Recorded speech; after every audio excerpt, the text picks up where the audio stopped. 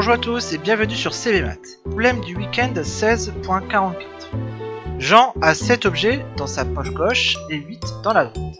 Des billets et des bonbons. Chaque fois qu'il prend un objet dans sa poche gauche, il le mange si c'est un bonbon, et sinon il le range dans la poche droite. À la fin, sa poche gauche est vide et la droite contient 12 objets. Combien avait-il de bonbons dans sa poche gauche? Si vous voulez résoudre le problème, vous pouvez mettre en pause la vidéo et nous, juste après, nous allons le résoudre.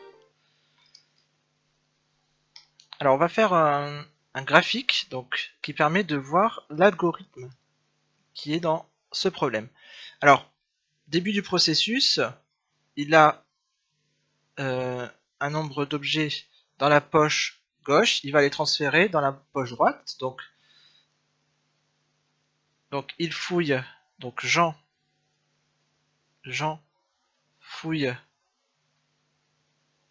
dans sa poche gauche. Alors, ici, si bonbon, il le mange.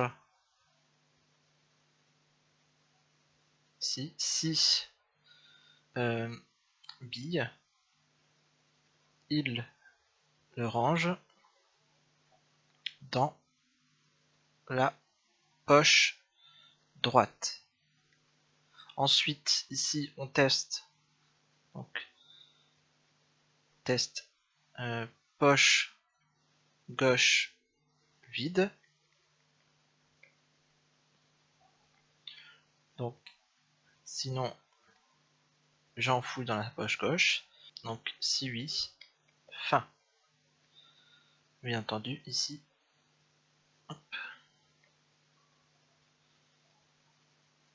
donc voici donc l'algorithme.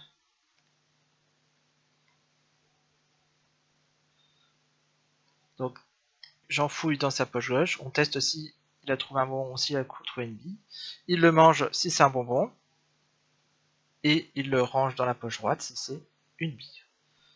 Donc euh, ici on va donc introduire des variables. On va appeler D le nombre de d'objets dans la poche droite et G le nombre d'objets dans la poche gauche. Donc ici manifestement il y a 7 objets dans la poche gauche et 8 dans la poche droite. Alors bien entendu, on va devoir tester si la poche est vide ou pas. Parce que si on met g est égal à 0, bah en fait, euh, si, euh, euh, ça veut dire que la poche est vide, donc l'algorithme prend fin. Donc début. la poche gauche est vide. On va donc non. En fait ici, on va tester si g différent de 0. g différent de 0. Alors Jean fouille dans sa poche gauche. Si c'est un bonbon, eh bien il le mange. Donc g est égal à g moins 1 et si B, il le range dans la poche droite, donc ça veut dire que D est égal à D plus 1, et G est égal à G moins 1. Donc ici, on va retrouver avec 12 objets, donc ici à la fin on aura D est égal à 12, G est égal à 0.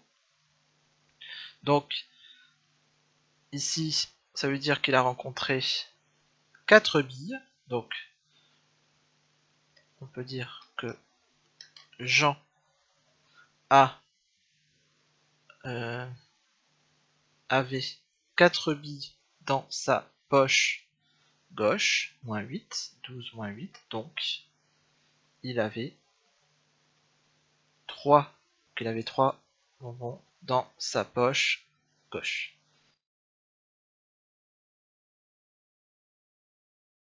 Voilà, on a résolu le problème avec un algorithme dont voici le fonctionnement. On a déduit que, Jean avait 4 billes dans sa poche gauche, et donc on en déduit qu'il avait 3 bonbons dans sa poche gauche. Voilà pour ce problème, si vous avez des questions, des remarques, vous pouvez poster un commentaire en bas de la vidéo. Si vous voulez être tenu au courant de la sortie des prochains épisodes, vous pouvez vous abonner à la chaîne YouTube CBMAT. D'ici là, portez-vous bien et à la prochaine.